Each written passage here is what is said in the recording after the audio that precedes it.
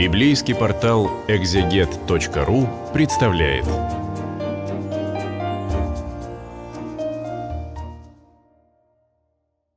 Сегодня на библейском портале «Экзегет» мы продолжаем изучение богодухновенной псалтыри «Помяни Господи царя Давида и всю кротость его». 143 э, псалом и э, в иудейской и в христианской традиции он связан э, с победой царя Давида над филистимлянами. Плештим. Плештим, то есть филистимляне. И если в еврейской традиции как бы четко не обозначено, какая победа имеется в виду, то э, в самой Септуагинте мы видим конкретное надписание – псалом Давида о Голиафе. О э, Голиафе, э, то есть э, псалом воспевает победу Давида над Голиафом, филистимлянином, который описывается в 17 главе первой книги царств. Это было такое знаковое событие – и это надписание, оно имеется также по церковно-славянски, но э, по-еврейски надписание очень короткое «ле Давид», то есть «от Давида». И сам псалом «Благословен Господь Бог мой».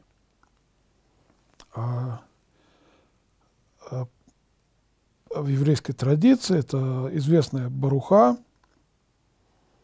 Барух Ашем, а Бог э, мой, Элокейну, а Барух Ата, Аданай Элокейну.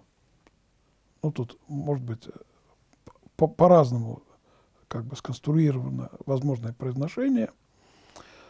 Благословен Господь, Бог мой, Элакейну, научающий руки мои ополчению, то есть научающий руки мои брани, персты мои брани. А в чем разница между руками и перстами? А, руки, они сообщают э, движение перстам, а персты должны крепко сжимать орудие – и в случае с Давидом, когда было его единоборство с Голиафом, это искусство э, использования прощи. Он э, выбрал из э, ручья пять гладких камней, положил в пастушечью сумку на единоборство с Голиафом и выступил с прощою против хорошо вооруженного воина. А, Причем э, древнее предание устанавливает, что прабабка царя Давида, Руфь, она была родной э, сестрой прабабки, бабки Голиафа. Потому что э, мавитские крови э, были в Давиде через Руфь моавитянку. Но Голиаф называется филистимлянином. В том смысле, что этот э, мавитянин по происхождению, он вступил в армию филистимлян и воевал на их стороне. Это был чудовищно сильный человек. И Давид молится, благословен Господь, Бог мой, научающий руки мои ополчению, персты мои брани, то есть дающий крепость. Он милость моя и прибежище мое, заступник мой, избавитель мой, защитник мой, и на него я уповал. Он подчиняет мне народ мой. Что значит он подчиняет мне народ э, мой? Мы знаем, что когда Голиаф поносил с равными словами полки Израиля, никто не решался выйти на единоборство с Голиафом. А когда Давид э, стал требовать, чтобы ему разрешили, его стали поносить. А, Причем его братья э, воспротивились ему, потому что он прибыл на войну э, в качестве человека, который по малолетству не мог воевать. А он принес в обоз пищу для своих братьев, то необходимое – и вдруг он начал шуметь, почему никто не хочет выступить против этого богохульника. И братьям стало стыдно за него, потому что там были более зрелые люди, воины. А Давид не был воином. А о Голиафе сказано, что он был воином от дней юности своей. А Давид был просто юноша, молодой человек. Он, то есть Господь, подчиняет мне народ мой. То есть Давид убедил и царя Саула, и э, военачальников Саула разрешить ему выйти на единоборство с Голиафом. И там был такой комический момент э, перед э, предполагаемым единоборством с Голиафом. На Давида одели все эти латы металлические. Он походил, походил, поскрипел этим металлом, говорит, нет, я так не пойду воевать, я не смогу так воевать. Я пойду, вот как вот волков я отгоняю, вот у меня пастушья сумка, вот камни, вот проща. И он продолжает молиться. Господи, что такое человек, что ты открылся ему?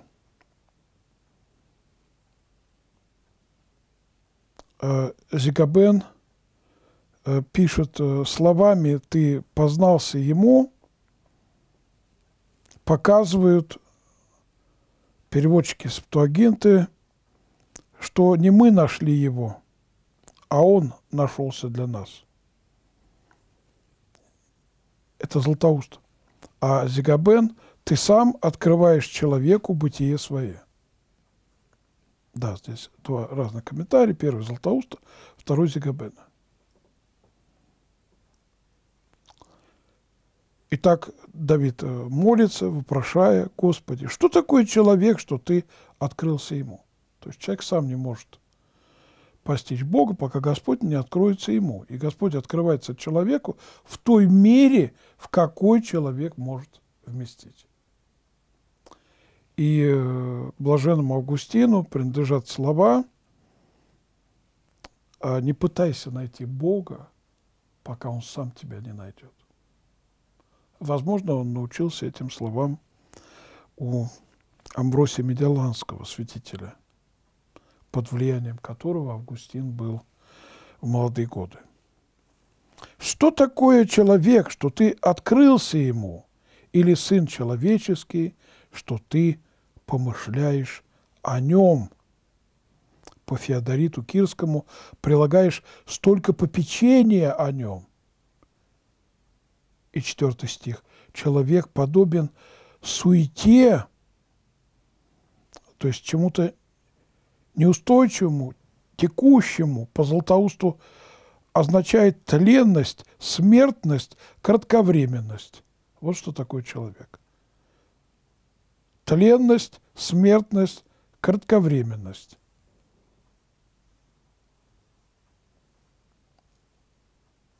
Что такое человек, что ты открываешься ему? Или сын человеческий, что ты помышляешь о нем? Человек подобен суете. Тленности, смертности, кратковременности. Дни его, как тень, проходит. Тень все время в движении по отношению к Солнцу. Все время в движении. А в другом месте Библии сказано, что дни человека, жизнь человека как пар, который является на малое время, а потом исчезает. Господи, продолжает молиться Давид, преклони небеса и сойди, коснись гор. Горы – это гордые люди, это э, филистимляне – Сарим Плештим, то есть князья филистимские, и они воздымятся. Блесни молнией и рассеешь их. Рассеешь их, то есть э, врагов Давида. Пусти стрелы твои и сметешь их. Блесни молнией, пусти стрелы твои, то есть стрелы как молния, молнии как стрелы. Прости руку твою с высоты, изми меня и избавь меня от вод глубоких. Это беда, как бы, как вода накрывает меня, я захлебнусь, если ты не поможешь. Изми меня из руки сынов чужих.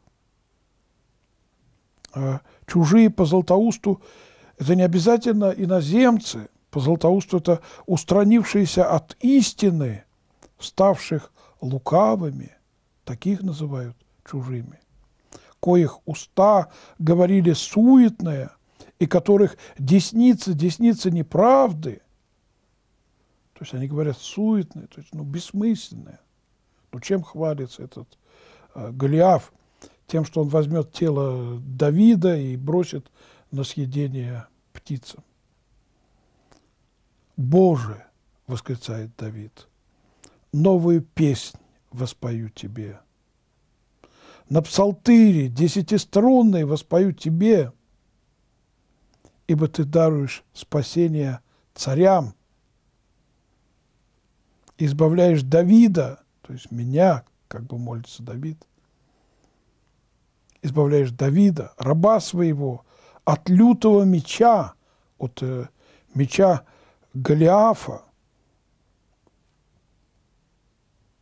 Меч э, Голиафа – это известное такое орудие, а потом он окажется в собственности Давида, и Давид будет э, пользоваться этим мечом